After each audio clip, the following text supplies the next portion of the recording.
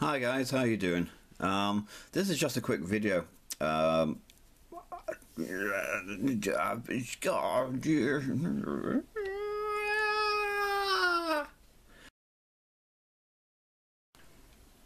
Hi guys, how you doing? Um, I, I oh, fuck things. Shut up, brother.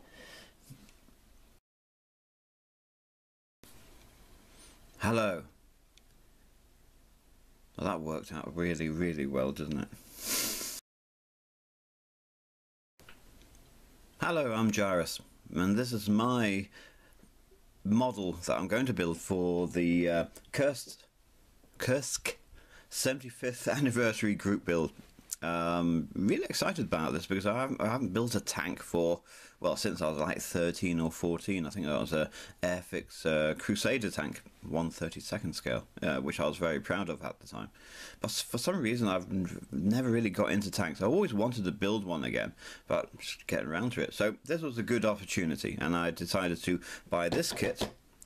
Uh, which is a let me just show you scroll it up there we go this is a uh, a Tamiya Russian T-34 dash or stroke 76 uh, tank.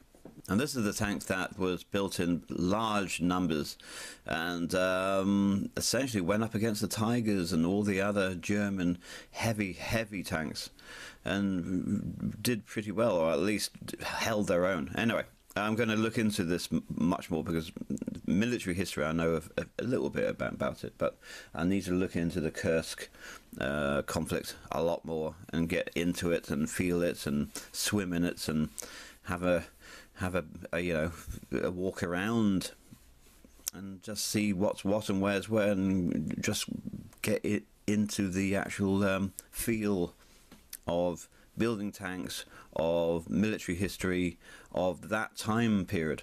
Um, very interesting time period.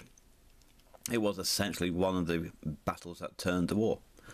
Uh, anyway, this is my this is my build, uh, as it's going to be really cool. I'm hoping. There's the tank. Uh, there's the kit. And there we go. I'll see you soon. Bye bye.